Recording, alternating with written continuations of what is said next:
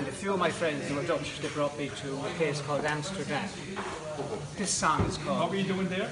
I was uh, viewing the, the scenery. Window shop, window shop. Stuff essentially comes in, isn't it?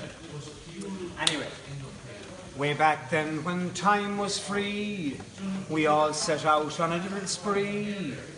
Dinny, myself, O'Dwyer and the Scut, all off to Amsterdam, well cut.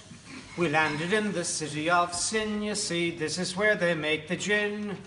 We all headed off in a hurry to Freddy Heineken's brewery, free beer for every man.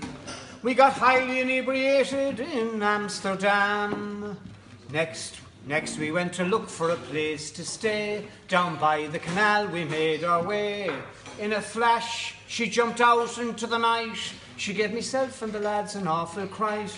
She said, Jane Bondage is my name, and if you want to play my game, I can tie you up, I can tie you down, I can whip you all around the town, and I loves an Irishman.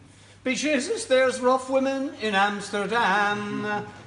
Well, we'd heard all about it on the Late Late Show, and we were on holidays, and who the hell'd know? It was only a good baiting, and we knew the score. We'd all been handcuffed by the guards before, but this was different altogether. See, Jane was all dressed up in leather. She bet us with a bamboo cane until we couldn't take the pain. Now she's a rough madame. She's the roughest, toughest whore in Amsterdam.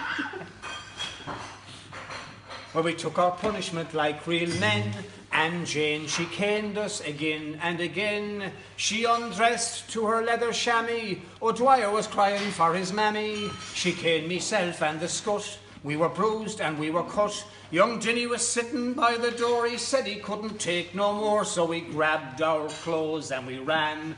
We ran from the roughest, toughest whore in Amsterdam. Next, we went to do some window shopping down the red light district. Our eyes were popping.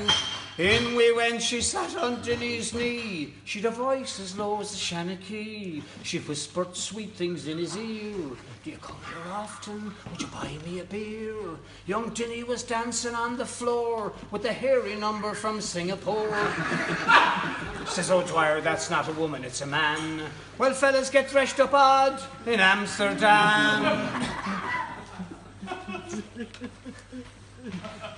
Denny was attacked from the rear by a fellow wearing kinky gear, a G-string tights and bra and pants. But Denny's mind wasn't on your romance, and as your man went in for the kill, Denny showed his great true skill. He caught your man by the G-string, and he twisted it till his ears did ring, saying, "Your balls are in a jam, and your eyes are watering on Amsterdam." Well, we all rushed out onto the street, chased by fellas dressed in rubber from toe to feet.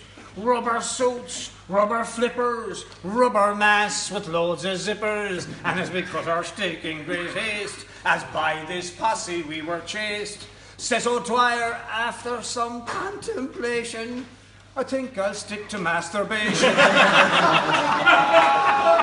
we escaped on the number 10 tram, and we were lucky to get out of Amsterdam. Be Jesus, we were lucky to a man.